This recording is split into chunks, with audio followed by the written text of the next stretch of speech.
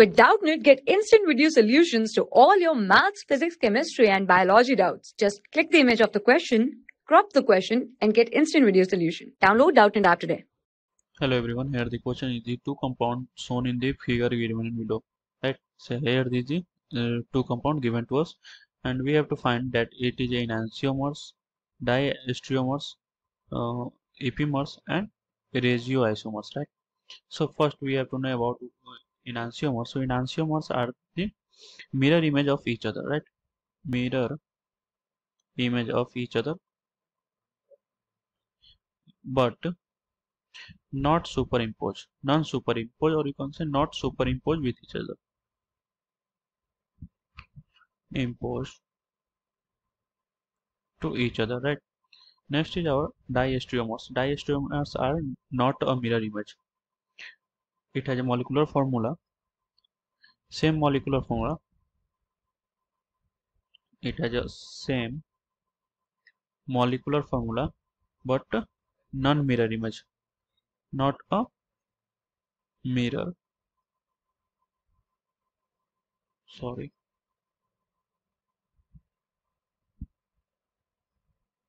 Mirror image. Right Next is our epimers. So epimers are the a pair of diastereomers. It is a pair of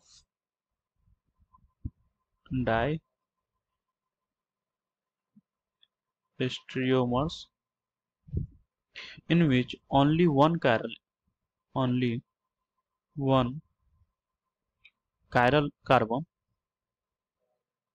chiral carbon has absolute has absolute configuration and it is different out of at least two and it is different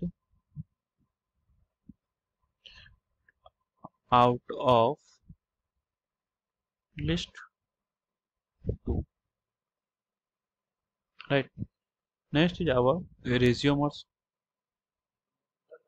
so regio isomer is a positional isomer. It is a positional isomers in which position of functional group vary, right? So come toward our question. So here we can see that it is a dash line, here it is also a dash line, and here it is a plane line, but here it's a uh, line, right? So it is not a mirror image, right? So we can say that it is not enantiomer. Next is our diastereomer so it has same molecular formula like we see that and it is not a mirror image. So we can say that it is a diastereomers right? Regio uh, isomers so we can see that at the same position the methane is uh, added. So it is not a positional isomer because its position is not vary so we can say that uh, it is not a isomers right? Epimers. So epimers is a pair of uh, diastereomers so right it is a not a mirror image. So it is diastereomers diastereomers but only one chiral carbon has absolute configuration. Chiral carbon means a carbon which at which is attached with four different group right? For example one alkyl group second alkyl group r dash third alkyl group and uh, so all three all four are a different group right? So this is a chiral carbon. So here if we see that here two chiral carbon is present at this position at this position right? So here this configuration is here it is a plane uh, dash uh, dash and it is a plane line. It is a dash line right? So here it is a plane uh, dash line and here it is a hedge line. Sorry. So its uh, configuration is changed. Next word this here it is a hedge line and it is uh, here it's in this it is a plane line. But here it is a plane line it is in this uh, structure it is a hedge line so also this uh, carbon chiral carbon has a, different uh, configuration right? So here two chiral carbon with different configuration but it says that only one chiral carbon has absolute uh, only one carbon has a different configuration right?